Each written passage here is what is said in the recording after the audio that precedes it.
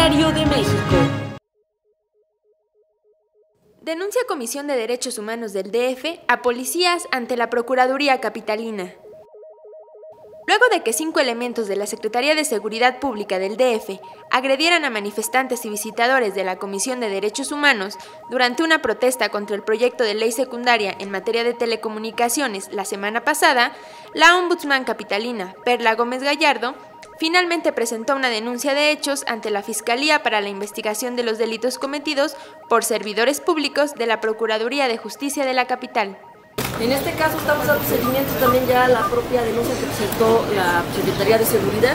y lo que estaríamos solicitando también es que se garantice el debido proceso, el derecho de audiencia de todas y todos los que pudieran ser responsables. Queremos que también se les garantice sus derechos porque queremos que haya responsables en esta materia y sobre todo que se garanticen las condiciones de las y los trabajadores de la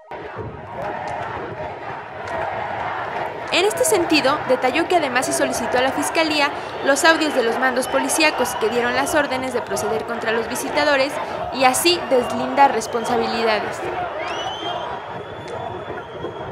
Parte de las quejas que tenemos levantadas de oficio en la comisión, acabamos de solicitar también los audios para poder deslindar quiénes fueron los que dieron las instrucciones al respecto. Todo esto que se integra, los videos y lo que ya se está trabajando por la propia eh, Procuraduría, por ejemplo, la integración de los expedientes, pero solicitamos que se lleve todo con el debido proceso y que haya una instrucción muy clara que no se va a tolerar que se obstaculice el trabajo de la comisión. Más que nada fueron cuatro personas que les obstaculizaron el trabajo, les retiraron un celular,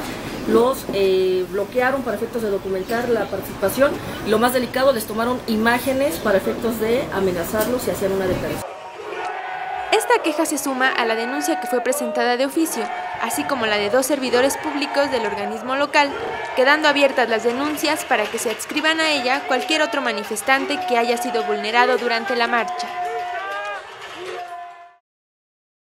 Diario de México.